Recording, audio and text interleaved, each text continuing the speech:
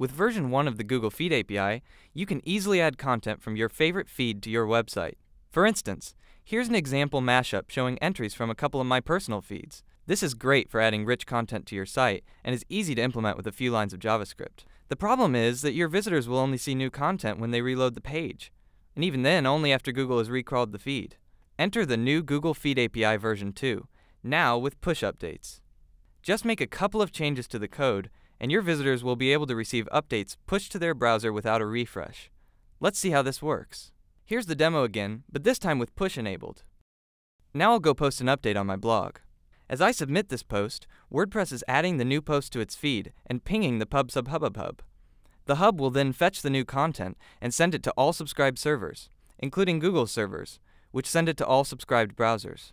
And there you go. The update arrived within seconds on my page, and it would have done the same for anyone who was looking at that page at the same time as us.